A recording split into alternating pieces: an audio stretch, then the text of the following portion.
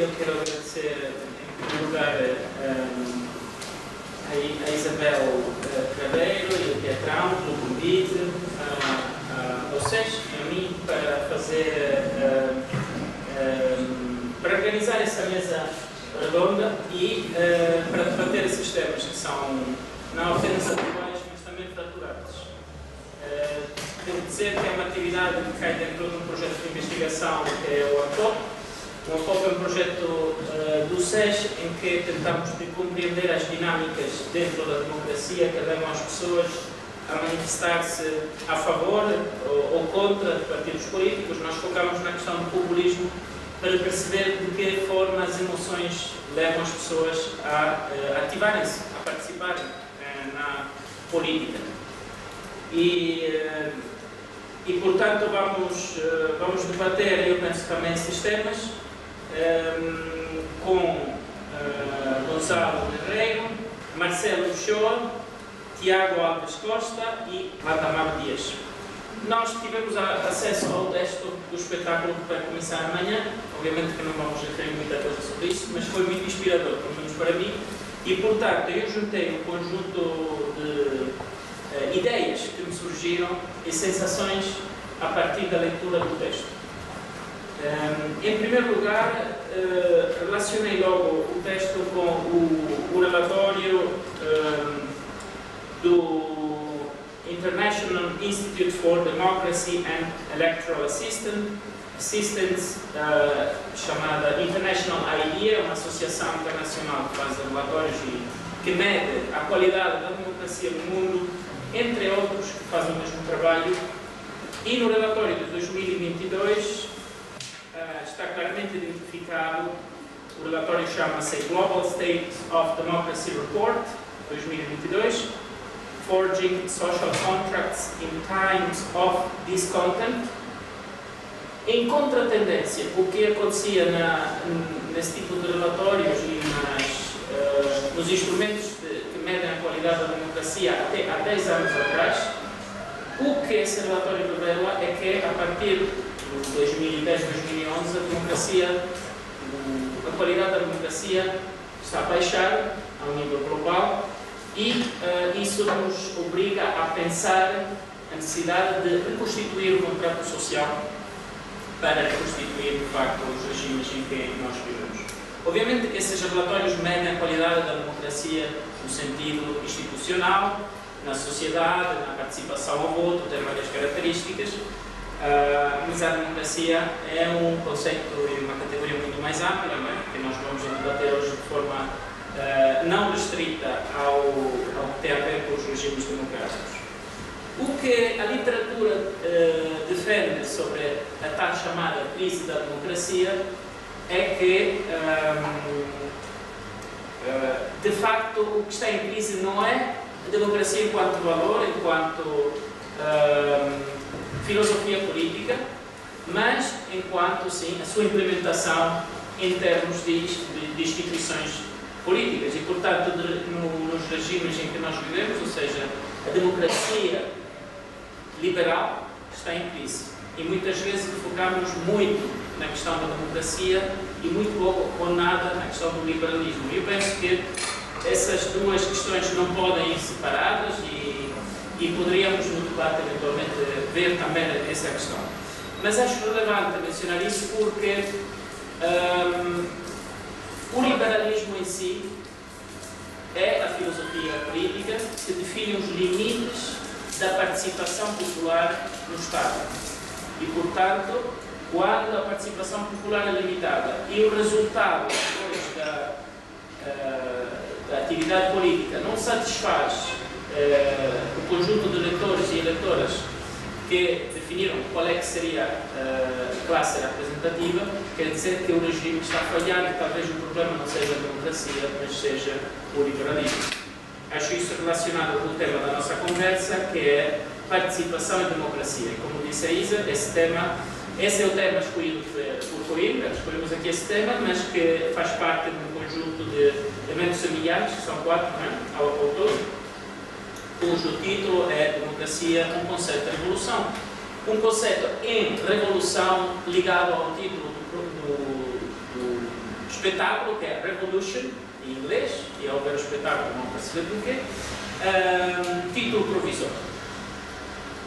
Agora, ao ler um, o texto uh, do espetáculo, e vou ser breve, mas vou dizer o que é que, que me estimulou, e espero que isso uh, possa também servir, uh, não só ao painel, mas também à audiência, que era colocar perguntas. Estimulou-me sentir a necessidade de pensar a revolução enquanto movimento. E logo no início penso que isso seja flagrante no, no espetáculo. Mas o movimento é uma questão de participação e a participação é uma questão coletiva. Portanto, há uma relação muito grande entre a revolução e a coletividade. Só que o movimento, e aqui vamos para os estudos da sociologia, passam os movimentos sociais e os movimentos na sociedade passam a transformar-se em instituições. E quando fazem isto, uh, criam hierarquias que, obviamente, servem para o funcionamento das instituições. O que leva à possibilidade de opressão, que é inevitável, mas que também tem que ser constantemente uh, refletida e debatida. Portanto, enquanto na, na revolução há um movimento e há uma elasticidade, uma capacidade de uh, criar uma coletividade mais expansa, mas que depois foca-se. Quando a instituição, uh, isso vai ser delimitado dentro do quadro institucional. E eu penso que essa é também a vertente de, de identificação das identidades sociais, ou seja, a capacidade das forças políticas de definir grupos sociais os quais sociedade depois se identifica e eventualmente escolhe para dirigir a coisa pública, não é? que nós chamamos populismo. No nosso projeto não temos uma ideia de populismo que é necessariamente negativa, temos uma ideia de populismo como uma dinâmica de criação narrativas sociais que permite a identificação das pessoas com uma uh, causa uh, pública. O problema é quando essa criação de identidade é xenófoba, racista, é exclusionarista e etc. Um, a revolução é também desejo. Na revolução uh, existe o desejo de ir para além dos limites que existem no regime atual, geralmente, geralmente chama-se uh, um regime de tipo autoritário, que de todas formas é um regime limitado e que limita a liberdade das pessoas, a liberdade e também a igualdade entre elas. Portanto, uh, o espetáculo passa a refletir sobre uh, a profundidade do, do desejo e penso que será importante compreender como a participação não pode uh, evadir a questão emocional. As pessoas participam não apenas porque compreendem o que é importante nas suas vidas, mas sobretudo porque sentem o que é importante para as suas vidas e porque têm desejos. E normalmente os desejos reprimidos fazem com que as pessoas se ativem mais uh, na, uh, no âmbito. E é o que uh, acontece e, e, se vai manifestando também dentro desse espetáculo. Uh, o desejo em si define também de que forma é que a coletividade consegue identificar e uh, ter como objetivo a liberdade e uh, a igualdade, sentido de serem ideias, valores uh, que ultrapassam o racional e terem neles um, um eles chegarem a ter um sentido teleológico, ou seja, as pessoas chegam a ter uma fé na liberdade, pela qual, por essa fé, as pessoas são capazes de dar as suas próprias vidas, é? o que acontece nas, eh, nas revoluções. Um, vou acabar por focar outra questão central no, no espetáculo, que achei genial, que é a ligação entre o sono, o sonho e o desejo, que são, que são dimensões, uh, todas elas uh, necessárias, mas também ilusórias. Podem, pelo menos, ser eh, necessárias em ilusões.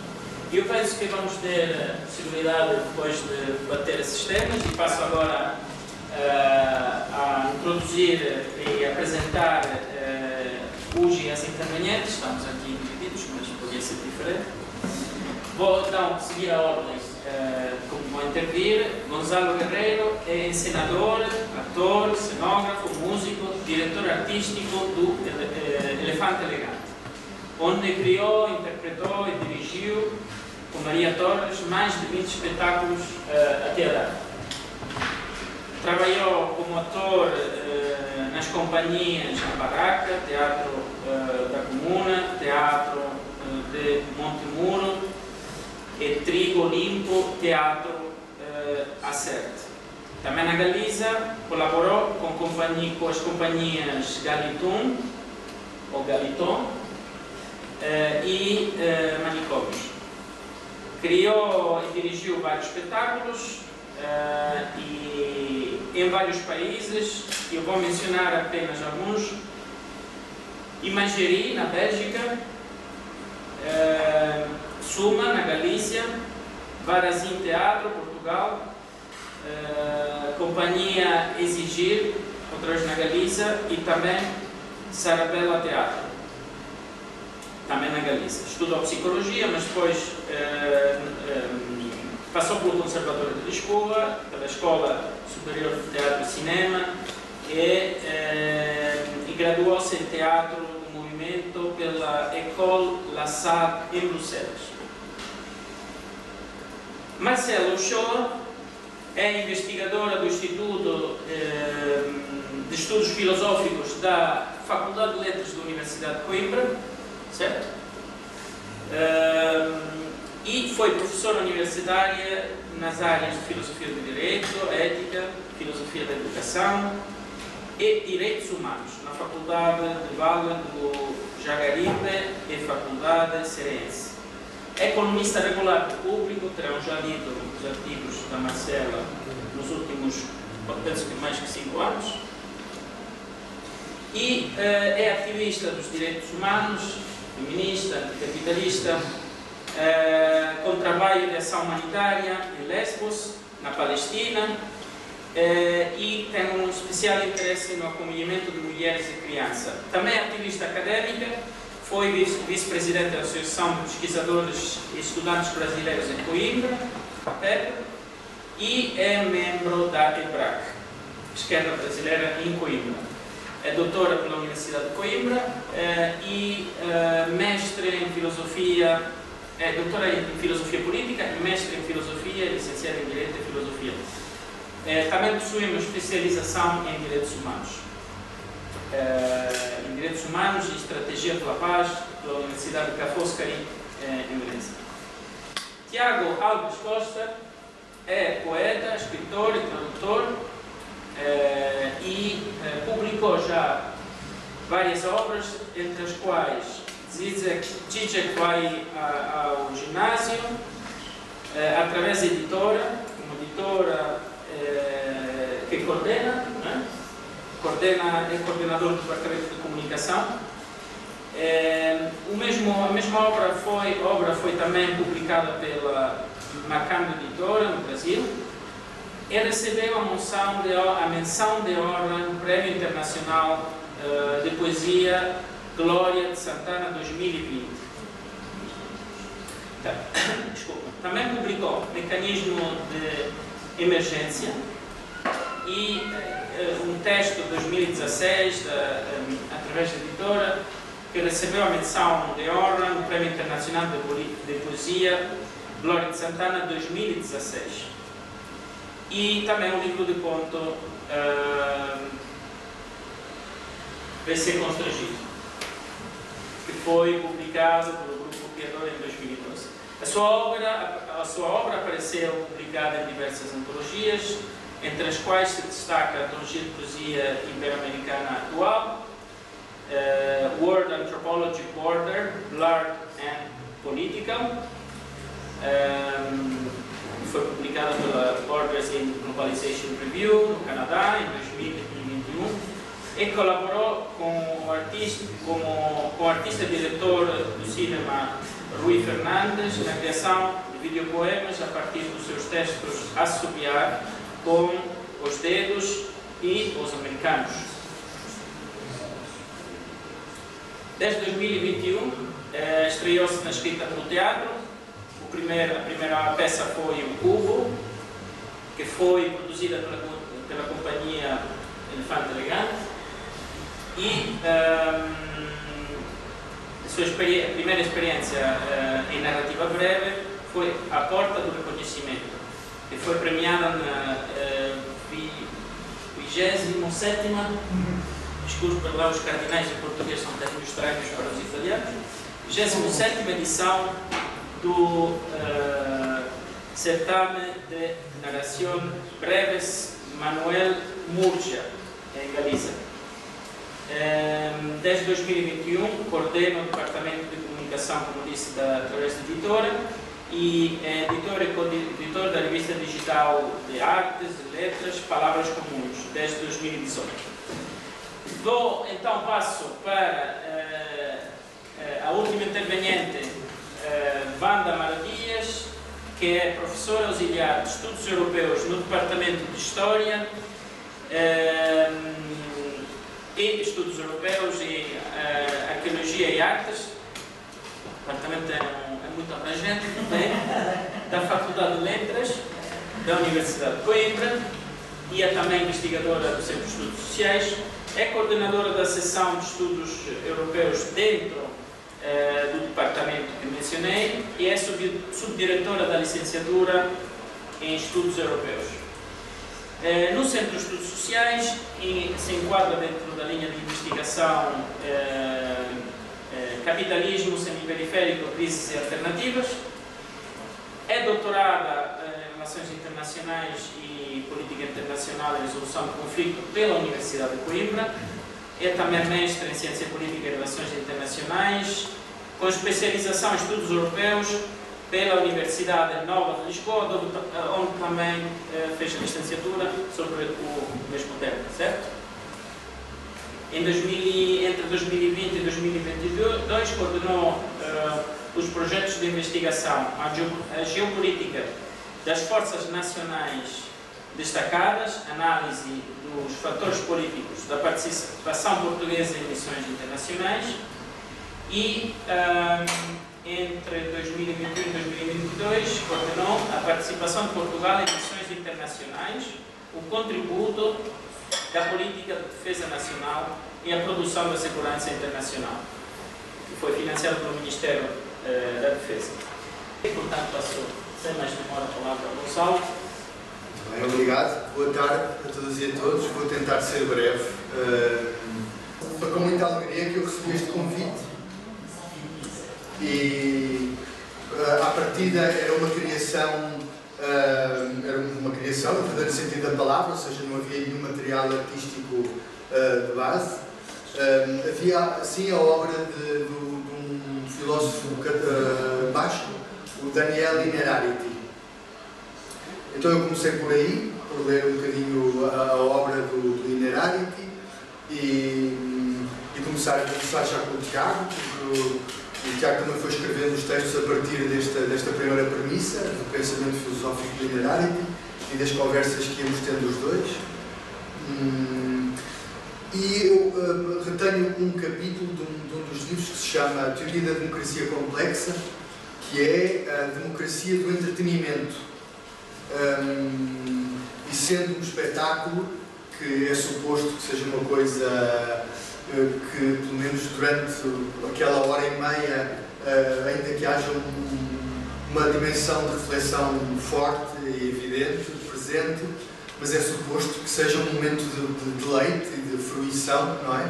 Que sejam mais os sentimentos, os sentidos que estão ativos durante, durante a peça e depois o pensamento ao final, pelo menos isso é sempre o meu desejo, não é? Um, então achei que esta, esta ideia da democracia do entretenimento, tão contraditória com aquilo que deve ser uh, um sistema político, chamou muita atenção.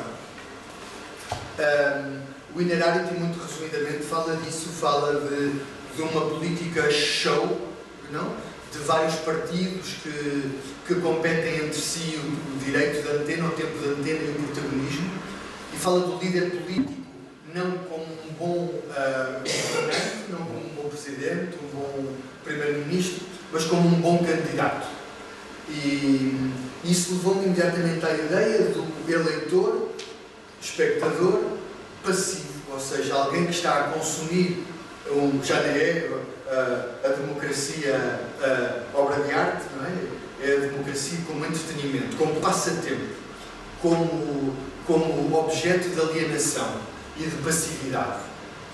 E uh, o, o, eleitor, a eleitora, uh, não com um voto ativo, não com um papel ativo, mas como aquele a quem temos que uh, entreter e ajudar a passar o tempo. Então, a ironia aqui presente e, e, e, a profunda tristeza presente também nesta ideia começaram a ditar a nossa maneira de começar a, a criar, a criar o espetáculo. Hum, então, rapidamente, uh, situámos uh, este, este eleitor, esta eleitora passivos. Um, eu começo sempre pela cenografia. Um, a primeira coisa que eu tentei desenhar foi um espaço onde os atores e as atrizes e os músicos pudessem existir e pudessem evoluir e pudesse ser um espaço de jogo, um espaço lúdico. Um, sem contar demasiado, mas contando alguma coisa, associamos essa passividade, essa alienação ao objeto sofá. Ao sofá que leva à preguiça, que leva ao não pensamento, e depois, uh, diretamente relacionado com isto, como disse o Christian antes, ao sonho. Porque o sofá também está relacionado com podermos adormecer no sofá, o dormir no sofá, mas dormir mal, não é? Porque adormecemos a ver televisão, e, e às vezes acordamos tarde e mais horas com dores no pescoço e eu acho que é na cama que se dorme bem. Isto é, claro, isto depois é a minha, subjetividade. É a minha subjetividade. Há quem depende do sofá uh, também. Uh, o sofá que nós temos não é muito cómodo para dormir, porque é bastante quadrado. Uh, mas isto levou-nos ao sonho também, ou seja, a preguiça que leva ao estado de estar adormecido, que leva ao sonho. Lá está, mas o sonho, no polo oposto à preguiça, no polo oposto ao sedentarismo. O sonho como construtor de utopias e como uh, construtor de valores e como construtor de um mundo melhor. E, muito resumidamente, o espetáculo anda à volta disto, deste sonho que constrói um mundo melhor e deste sofá que impede a concretização do sonho. Eu ficaria por aqui para agora. Ok, muito obrigado, Gonçalo. Passamos então ao Marcelo. Boa tarde. É, é, queria agradecer primeiro por todos estarem aqui, todas. E queria começar é, lembrando vocês que hoje é aniversário do nascimento do Salazar, não é? mandato representativo também para esse, esse debate, inclusive para que a gente comece pensando a importância da nossa possibilidade de estarmos aqui é, debatendo sobre as mazelas nosso sistema democrático, os nossos desafios, esse direito de refletir, de pensar, de se expressar, é, ele custou muito para muitas pessoas para que a gente pudesse ter esse direito de estar aqui. É, esse é um dos meus primeiros objetos de reflexão e, e para começar, para invocá-lo, eu, eu queria chamar a, a memória né, da Catarina Eufêmia né, e convoco a memória dela para convocar a memória é, das mulheres que construíram abrigo. É, e indo mais longe, não só das mulheres que construíram abrigo, mas de todas as pessoas é, esquecidas, silenciadas, que construíram os movimentos revolucionários. É, falar sobre isso é, ainda é um tabu e, e, eu posso dizer com muita clareza, porque ainda hoje nós não estudamos a maioria desses, é, vou dizer de maneira quase que pejorativa, personagens históricos é, nas nossas escolas, na, é, na nossa vida. Digo personagens porque não eram só personagens, eram vidas, não é? vidas que construíram é, toda a nossa possibilidade de, com todos os problemas que tenha, a gente possa ter o direito de falar em democracia e de estar aqui falando.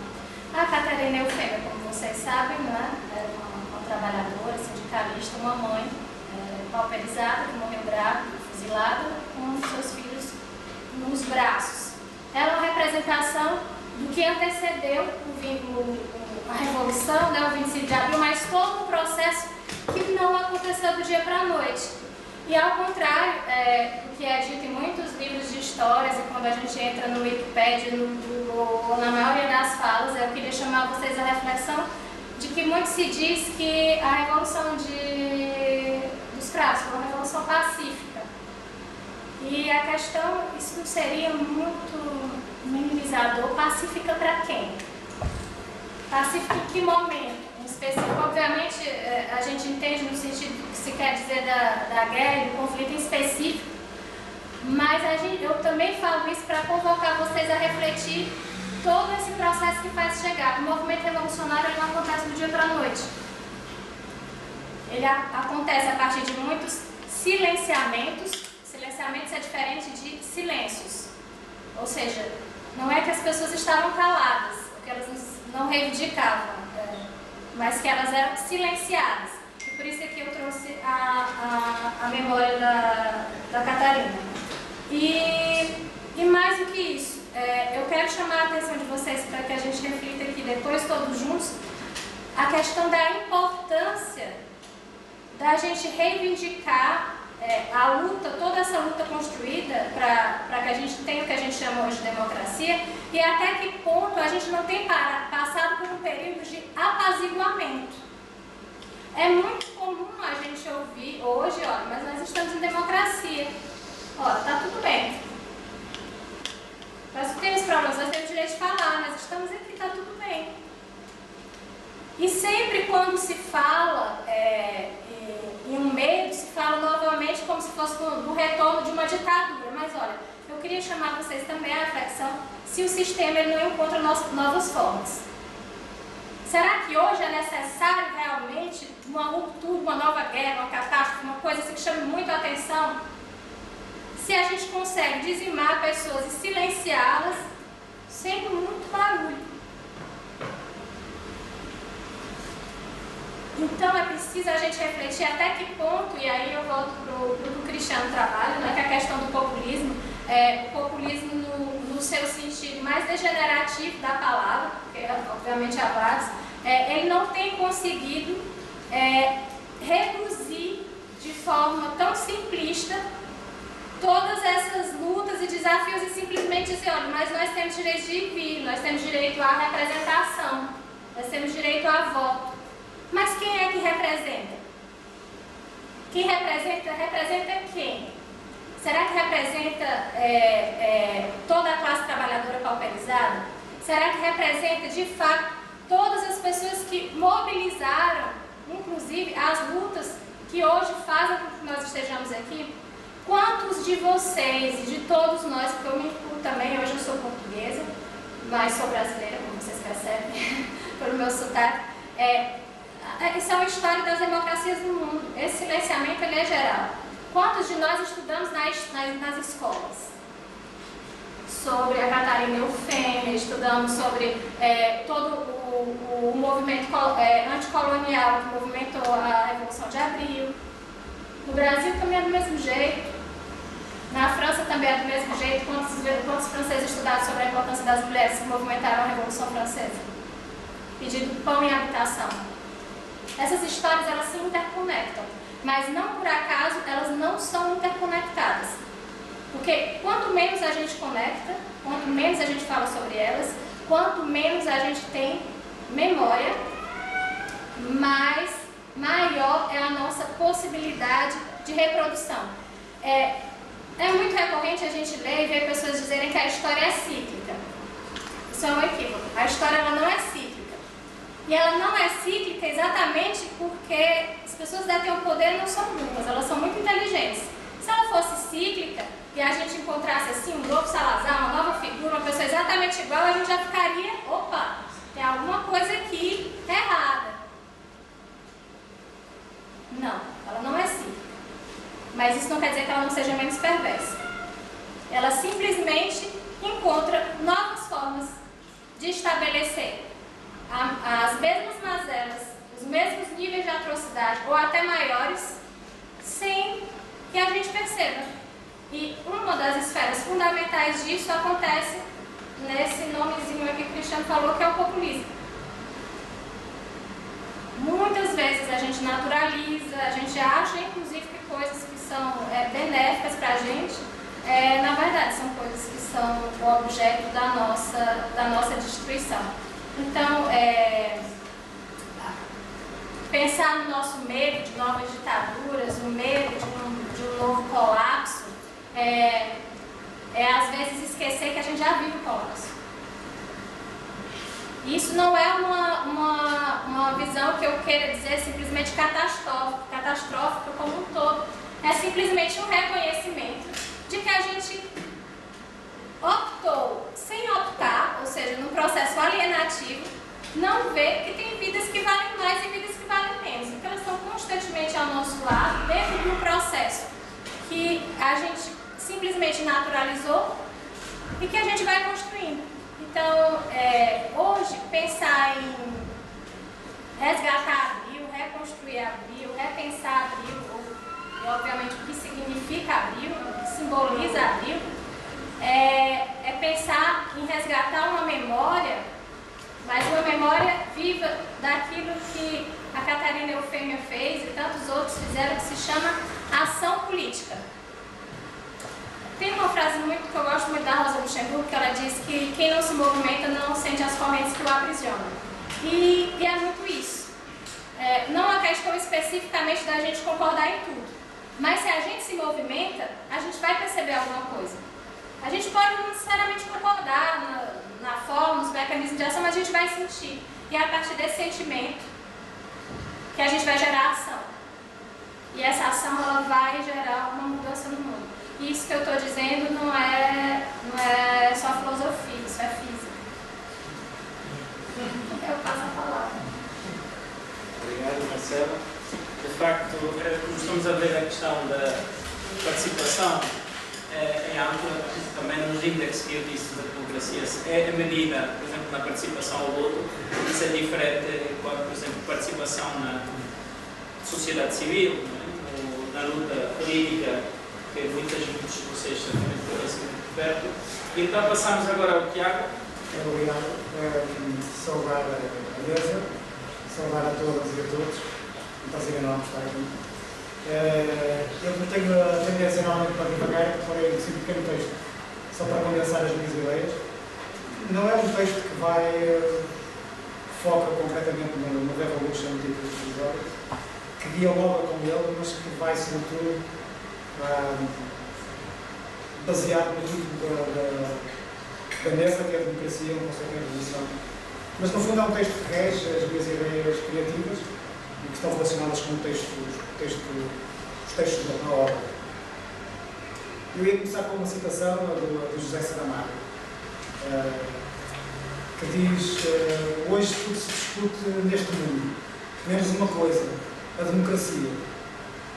A democracia está aí como se fosse uma santa de altar, de que já não se esperam milagres, mas que está aí como referência e coloca entre aspas a democracia. E depois ele continua de facto, as grandes decisões, e isso acontece hoje em dia, não são, uh, são, feitas, são, são realizadas em esferas que nós não controlamos. Uh, e eu também uh, iria usar outra citação da filósofa alemã Hannah Arendt, que está relacionada com a poesia e parece muito interessante com o conceito democrático. Ela fala num poema pensante e vivo, e eu achei interessante uma democracia pensante e viva. Acho que, acho que é muito, muito bonito. Então, baseado na democracia, um conceito em, em revolução, uh, parece-me de facto uma, uma ideia que evoca reflexões profundas e questionamentos importantes sobre o significado da democracia no mundo obviamente em constante mudança, sobretudo nesta mudança de paradigma que estamos hoje a sofrer. A democracia é um sistema político que visa garantir a liberdade e a igualdade para todas e todos, mas e uma coisa que me interessa também muito, eh, também no aspecto criativo, é que, como é que podemos definir estes conceitos numa sociedade cada vez mais diversa e complexa. Vivemos atualmente uma mudança de paradigma profunda, como disse, e, uh, e aproveitando aqui uh, um filósofo que tenho lido muito ultimamente, que é o Bianco Chulano, e ele diz que estamos a deixar a era terrestre para entrar na era digital. E eu acrescentaria que estamos a entrar numa era tecnocrática. Mais do que nunca, e deixo de citar, a sociedade do rendimento na qual habitamos, smartphones, redes sociais, que nos distraem, se calhar, do essencial, reconfigura o nosso papel de cidadão. Eu colocaria cidadão barra consumidor.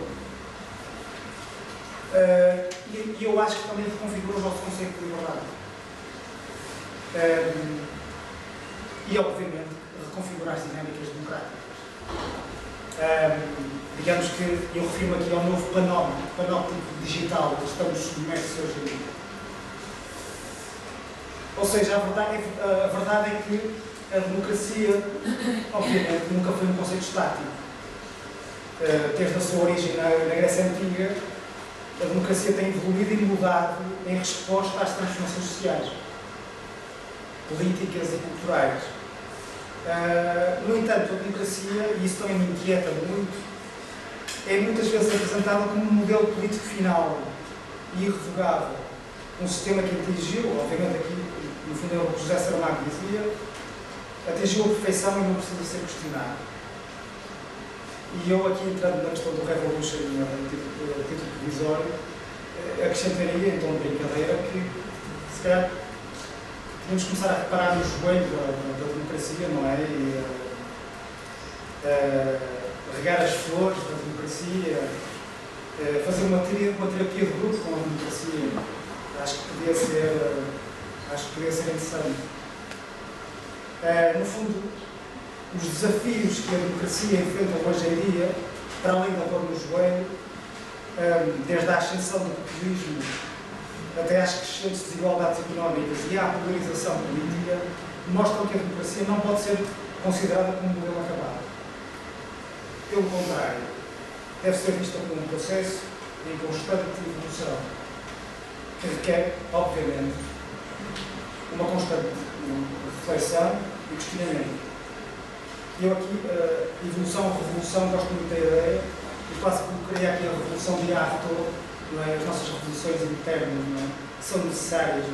Acho que estamos, estamos sempre a olhar, daí tem algo importante, a cultura, obviamente, essa, essa relação com o espanto e com o novo é necessário, não é? Uh, para cuidarmos da democracia. E é necessário também na relação com o outro, porque eu acho que a democracia só se faz com com a relação com o outro. Ou seja, nós só fazemos comunidade com a relação com o outro. E, sobretudo, com a alteridade do outro. Com a diferença do outro. E, obviamente, que o fascista não permite a alteridade, nem a diferença. E isso é a grande diferença da democracia, não é?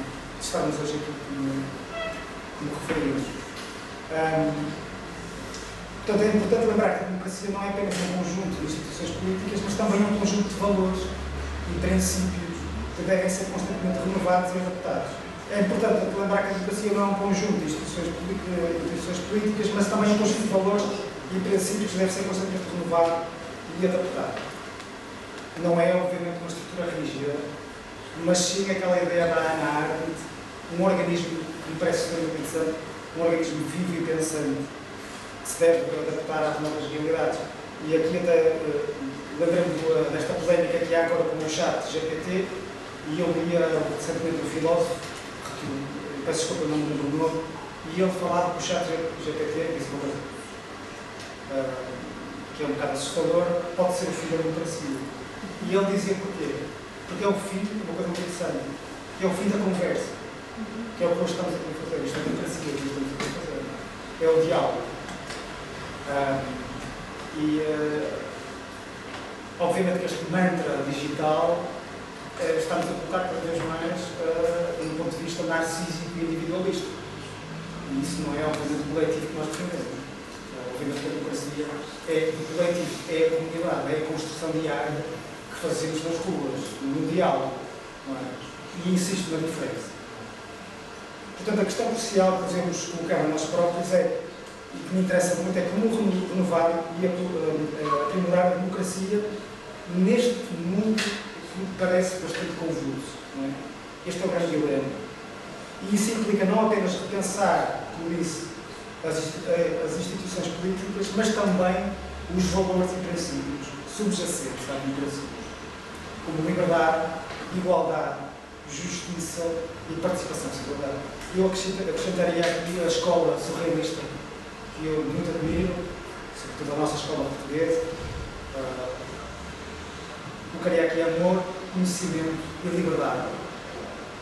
E termino, portanto, a reflexão sobre a democracia no conceito da evolução deve levar-nos a questionar estas próprias crenças e conceitos em relação à democracia e desafiar-nos a, imaginar novos modelos políticos e sociais que possam responder aos desafios do nosso tempo. Afinal, a democracia não é apenas um ideal a ser alcançado, mas uma jornada constante em busca e ao exercício desta, deste elemento pensante e vivo. É isto. Muito obrigado. Muito obrigado, Guilherme facto, a ideia da democracia Estado de evolução é central, é? sobretudo para uh, quem estuda uh, a democracia como uma categoria. E uma sugestão para o ciclo do Revolução, Revolution, a título provisório, podia ser Democracy, título provisório. Muito obrigado. Vamos. Olá, muito boa tarde. Gostava de começar desde já por agradecer ao Teatrão por acolher esta excelente iniciativa, ao Cristiano pelo desafio e convite para nos juntar a esta conversa hoje, aos meus colegas também aqui de debate e de diálogo e sobretudo a vocês por encherem esta, esta sala e nos darem também este alento na nossa, na nossa conversa. Um, não vou trazer nada de substancialmente novo relativamente às preocupações que já foram sendo aqui afloradas.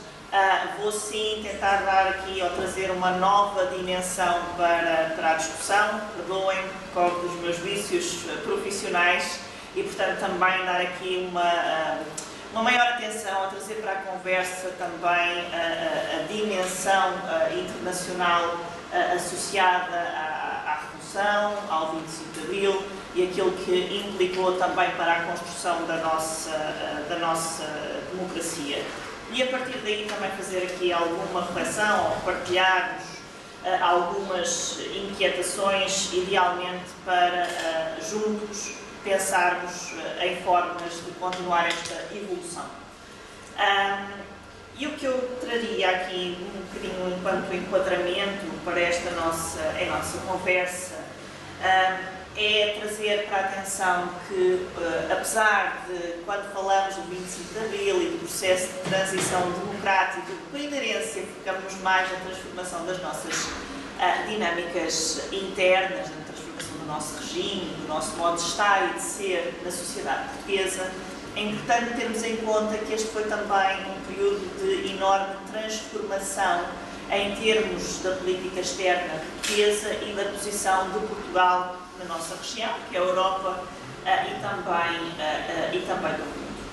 Em particular, marca-se aqui um ponto de quebra de um isolamento não é, que acompanhou e que marcou também a política externa, sobretudo do, do, do Estado Novo, e início de um forte e de um intenso debate interno sobre aquelas que deviam ser as novas prioridades estratégicas de, de Portugal.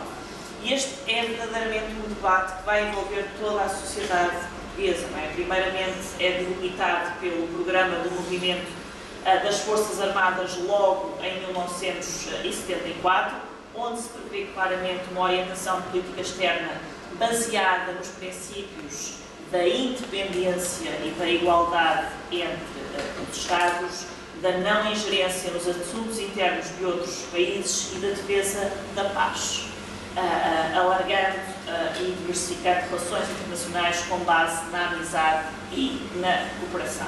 aqui, claramente, uma clivagem em relação àquela que uh, tinha sido a prática e as prioridades do, do Estado.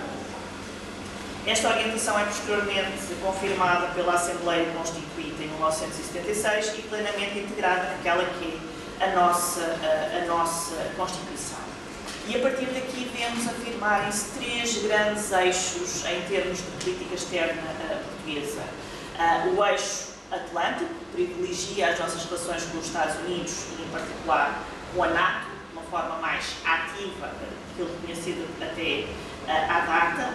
O eixo dos países de língua oficial portuguesa, que quer continuar transformando a nossa relação com agora o mundo português pós uh, pós-colonial e também, com particular importância, o eixo europeu, que eu retomarei uh, uh, em breves instantes, só para dizer que estes três eixos viria a somar um outro a partir dos anos 90, que é a, a participação ativa de Portugal na produção de segurança internacional, sobretudo através da participação em missões internacionais.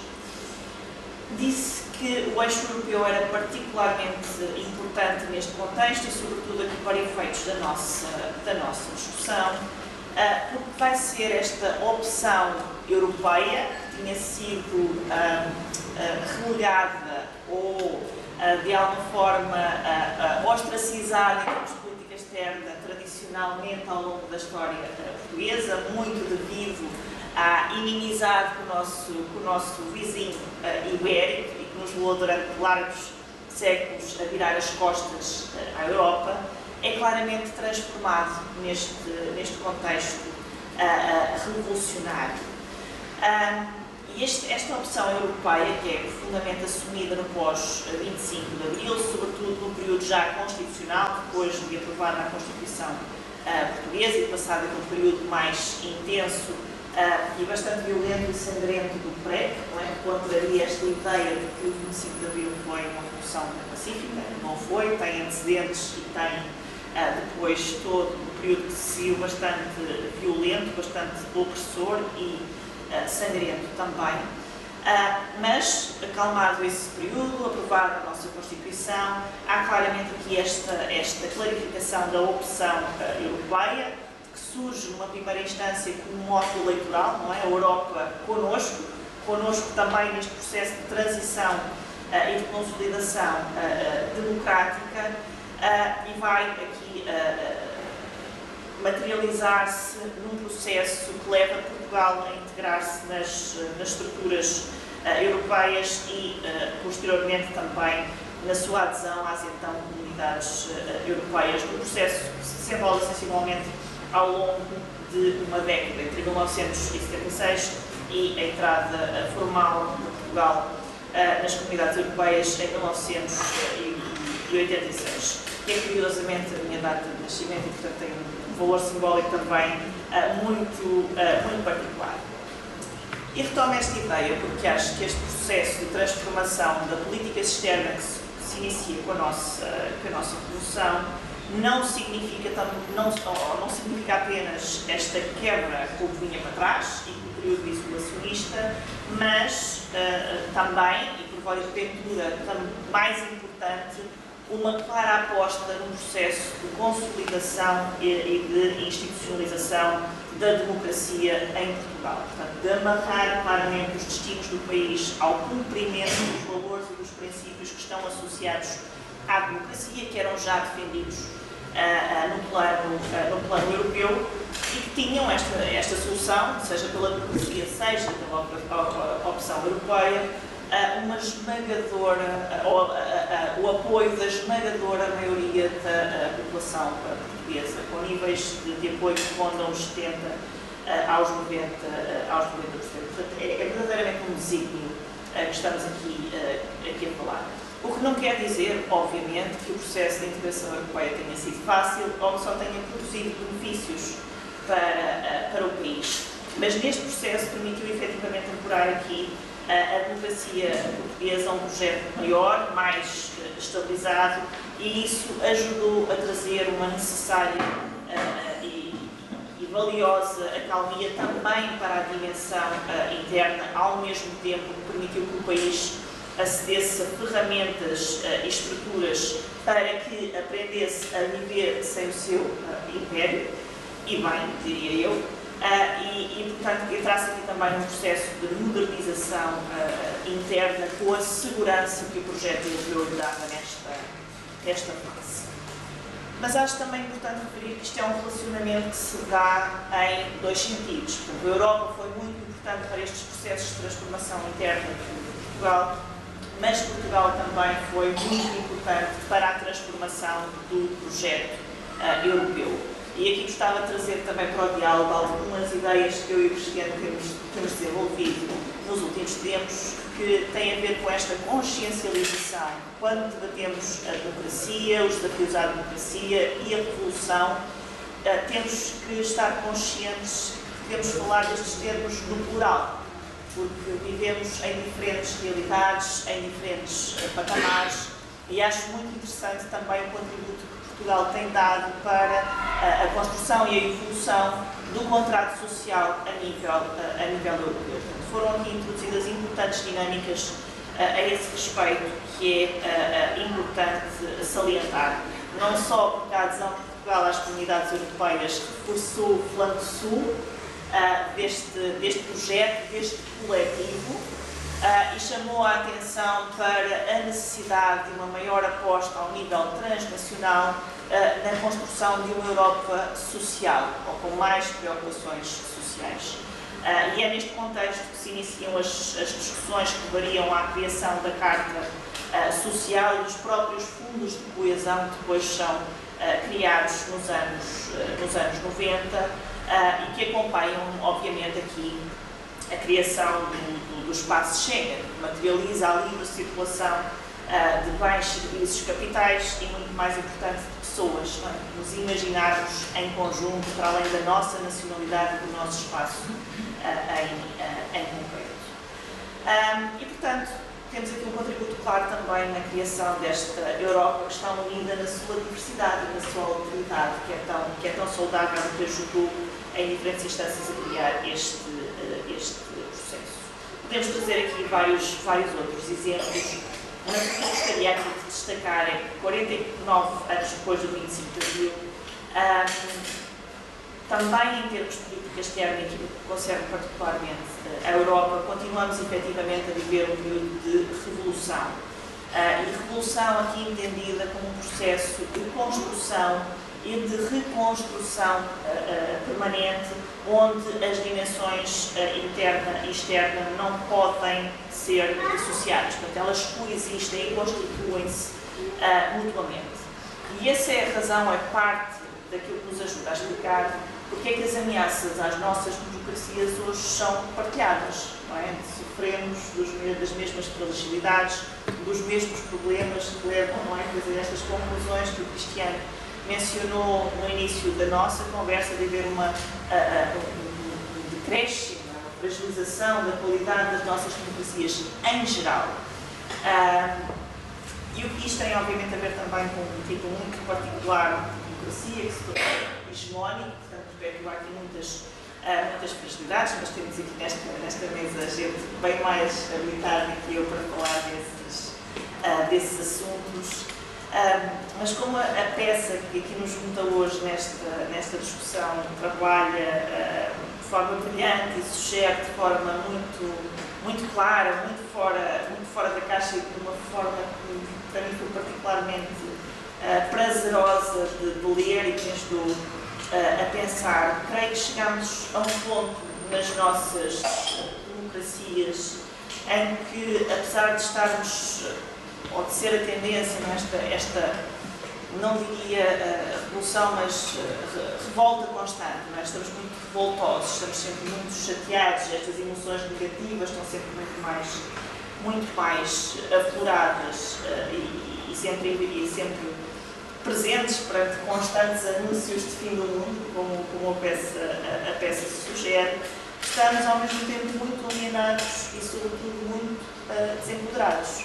Portanto, há muito barulho, mas muito pouca transformação uh, positiva.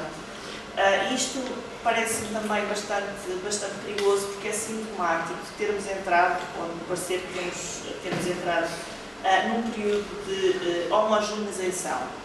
Uh, seja no, âmbito político, seja no âmbito uh, económico, seja também no, âmbito cultural. E esta homogeneização uh, desviou-nos do caminho do diálogo, do debate, da discussão de ideias, em verdadeiras ideias, projetos de sociedade, projetos de, de, de futuro.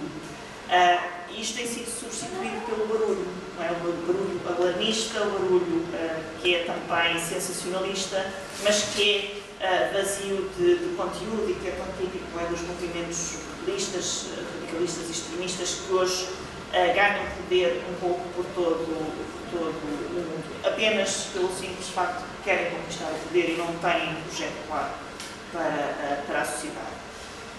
Este é um, é um problema estrutural se vem afirmando de há muito tempo esta parte, não surgiu do nada, é um processo também ele em, em, em curso, mas me parece que não se pode combater com mais, com mais eh, barulho ou com mais anúncios e constantes anúncios de fim, eh, de fim do mundo. Acho muito importante exercícios como este, que nos permitem eh, recuperar o debate, recuperar o diálogo, trocarmos ideias e termos consciência uh, de quão unidos estamos, apesar da nossa, uh, da nossa uh, diversidade. e assim exercemos permanentemente a nossa, a nossa a cidadania que se quer sempre, sempre ativa. E permitam-me, para, para terminar, que uh, aqui reconhecer cabe à arte, ao teatro, à música, ao cinema, a outras formas de arte, um papel uh, essencial nestes, nestes processos. Uh, da mesma maneira que aposto que cada vez que vamos falar uh, do 25 de Abril, toda uma banda sonora toca nas nossas cabeças portanto, a música foi essencial para colocar este processo revolucionário em, em marcha e é algo que é transversal a todos os processos revolucionários. precisamos também hoje de reforçar o papel que a arte tem como espaço de, de, contestação, como espaço de resistência, como espaço de emancipação. Permitimos aqui um exercício crítico de denúncia de abusos de poder e, desejavelmente, de criação de uma sociedade que queremos que seja mais igualitária, mais equilibrada, mais justa e mais uh. Portanto, ponderada. Terminava assim com o meu agradecimento aos responsáveis por este momento, em várias instâncias, e então, mais uma vez a vocês por, por ouvirem e nos acompanharem nesta luta que é cotidiana. Muito obrigada. Muito obrigado, Wanda. Eu acho que.